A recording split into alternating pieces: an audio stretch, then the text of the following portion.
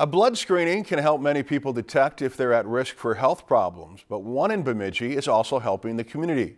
Haiti Clotter tells us how the Bemidji Rotary Club is partnering up with Sanford Bemidji to bring health awareness and raise funds for a local playground.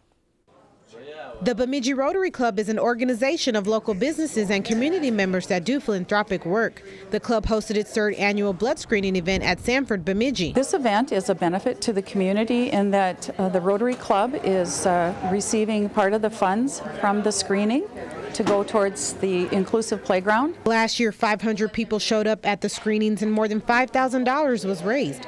The club made a $100,000 commitment toward the funds for the playground. Paul Bunyan Inclusive Playground that was uh, put up last summer at the uh, waterfront provides a place to play for kids of all abilities and uh, has, it looks like it's been very well received.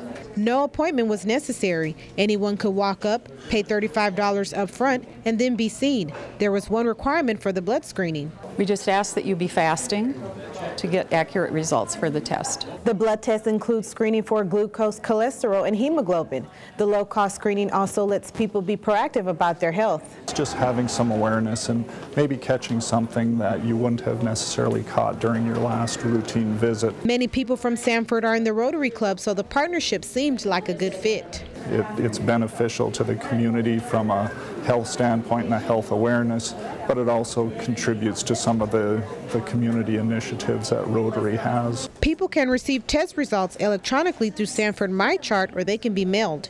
In Bemidji, Haiti Clotter, Lakeland News. The screenings will continue tomorrow and Wednesday from 7 in the morning until 10 in the morning at Sanford Bemidji.